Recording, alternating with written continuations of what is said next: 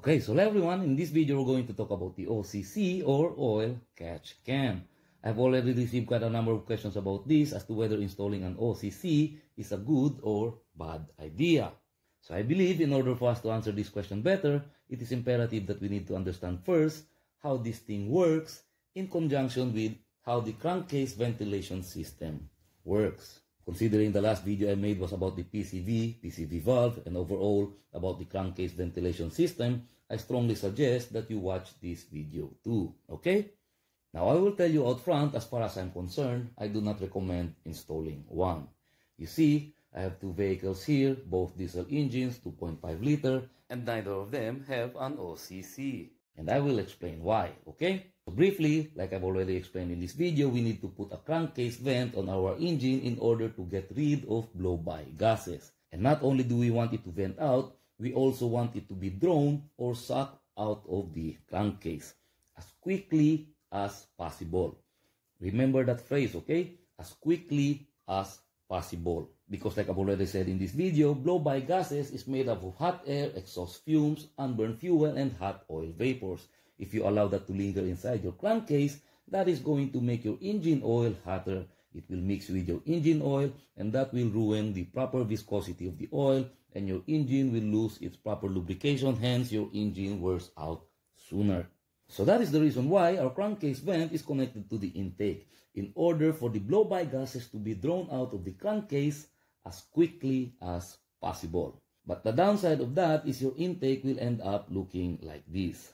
And not only that, it also has the tendency to accumulate on your valves, causing a carbon buildup.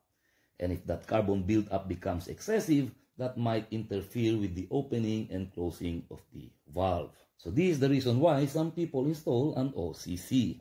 Now how does this thing work? So you have your inlet port here, and you have your filter material here, like this one, and this is your outlet port. So your inlet port is connected to your crankcase vent and this outlet port is connected to the intake manifold. So blow-by gases is going to pass from here, gets through this filter, and as it does, it separates the oil. And so before the blow-by gases enters the intake, it is mainly just pure air, preventing this from happening. Now, a lot of people think that this is what separates the oil or that this filters out the oil, and that is not correct. What it does is it slows down the flow from here to here. And as the flow slows down, it gives the blow-by gases time to cool down and expand. And as it cools down, condensation happens. So the moisture content that is present in the blow-by gases, like unburned fuel and hot oil vapors, condenses and turns into liquid and falls and accumulates here. That is why they call this an oil catch can.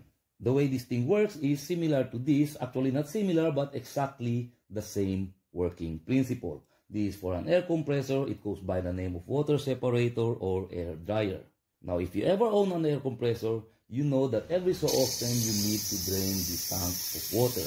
And the reason why your air compressor accumulates water is because air has moisture in it. And that is precisely why we have this term called humidity and that refers to the moisture content that is present in the air. So as your air compressor sucks in that air, it will also suck in that moisture with it. And that is the reason why we sometimes need to install a water separator so that we won't have that water come out from our hose. So just like your OCC, this too does not filter out that water, okay? What it does is it slows down the flow from here to here. Let me show you, okay? So we have 90 psi. First, let me release the air without this connected. So as you see, the flow is constant because the flow is unobstructed. So let's bring the pressure to 90 psi again. And this time with the air dryer connected, the regulator is all the way open, 90 psi, okay? Now watch the gauge. See that? It went up abruptly and then it went down. I'll do that again. See, same thing. And that is because the flow from here to this end is obstructed. Now watch what happens if I will release the hose from this end, okay? The pressure inside the hose will be released almost immediately. See? By contrast, if I will disconnect it here, the flow is impeded. See?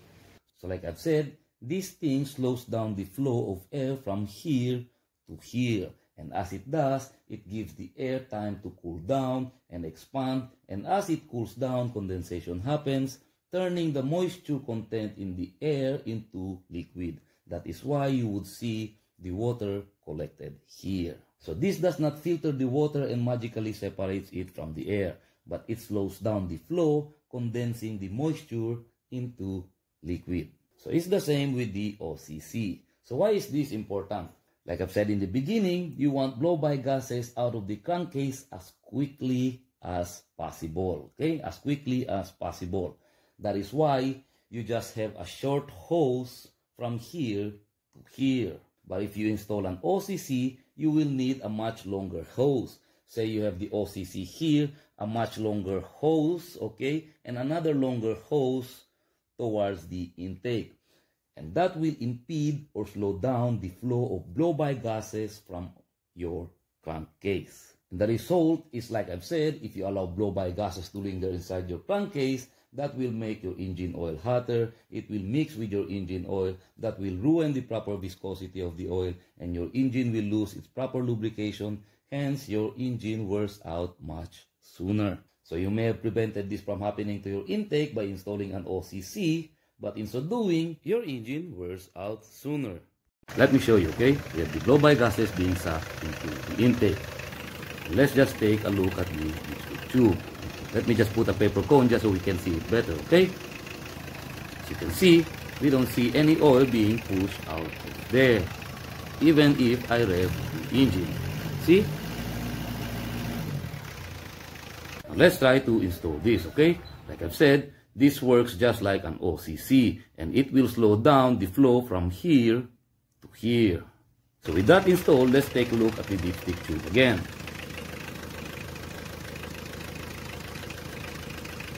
As you can see, the oil is being pushed out of there. And that is because the flow of blow-by gases is impeded. Hence, the blow-by lingers and it is building up inside the crankcase. That is why the oil is being pushed out from there. So, let me remove this. And let's put on a new hose there. Now that is just ordinary garden hose, okay? So let's put a new paper cone on there. And as you can see, there is no oil being pushed out from there because the blow-by gases is not impeded.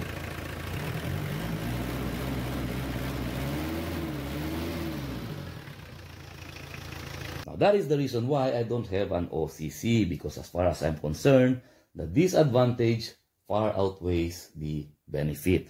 Because it's a far more easier job to clean this intake or perhaps remove the cylinder head and clean the valves than to bring down the entire engine and perform an engine overhaul.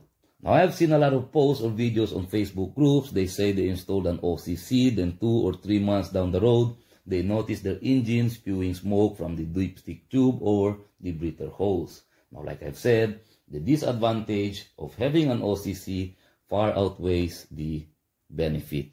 Now, I'm not here to debate with you, okay? If you want to install an OCC, if you believe it's better, it's up to you. It's your engine. But as far as I'm concerned with the explanation that I just told you, that is why I don't have an OCC or catch can installed. So anyway, I do believe I will end it here. I hope you found this helpful and informative. If you believe that having an OCC is more beneficial, I would like to know more about that too. Let me know in the comments below. Like, share, subscribe if you want to. Only if you want to. And as always, thank you for watching.